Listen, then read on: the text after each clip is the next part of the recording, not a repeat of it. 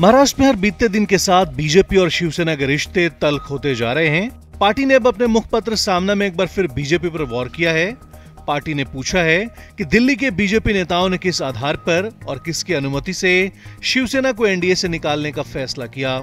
सामना में सवाल पूछा गया कि आज एनडीए का प्रमुख कौन है? शिवसेना को बाहर निकालने का निर्णय किस बैठक में और किस आधार पर लिया गया?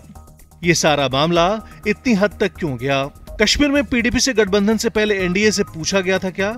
इसके अलावा सामना में शिवसेना ने यह भी चेतावनी दी है कि छत्रपति शिवाजी के महाराष्ट्र से लिया गया पंगा तुम्हारा तंबू उखाड़े बिना नहीं रहेगा।